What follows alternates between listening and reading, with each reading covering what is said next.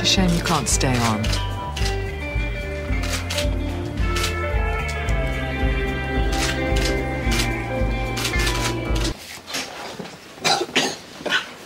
Elliot, I've gone slightly out on a limb, and I'm hoping I can rely on your support.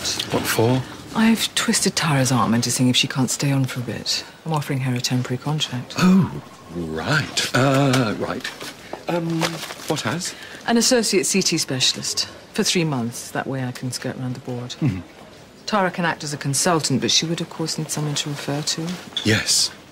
Well, uh, I mean, uh, that could be me. You could. I mean, you work so well together. Yes. Um, does Connie know?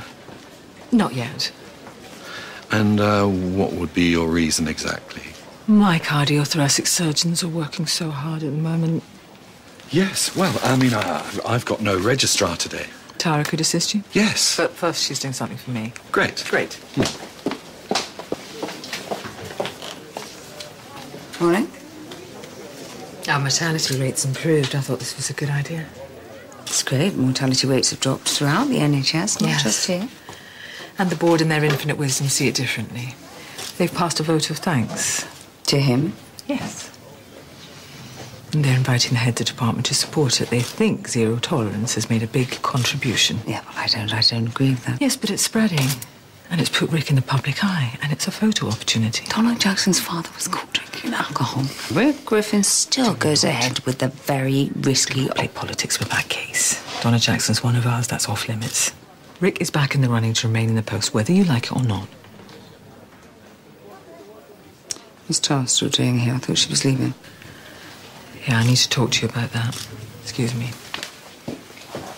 You thought it was okay for this guy to be DNR, but you knew nothing about his background. You let him play you. No. Well, he's not going to bully Tara, and he's certainly not going to bully me.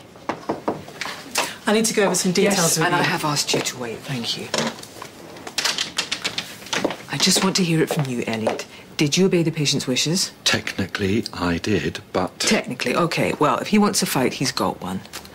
The day I let a surgeon be struck off for saving a life, we might as well all lie down and die. I must insist. Yes, I'm I think, uh, as I say, you know, that she's um, perfect for the job, really. Tara, I uh, have your contract in my office. All it needs is your signature. Thank you so much, Jayne. My pleasure. Ric,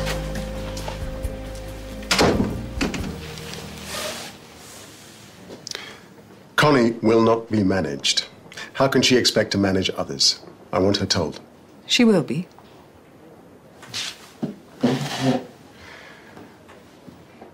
If she's still in the running for director of surgery by the end of play, I'll be very surprised and disappointed. I can't force her to quit. Well, what would keep her in it? Can you name one thing? You make one rule for her, another for yourself. You got away with it, she didn't. Be content with that.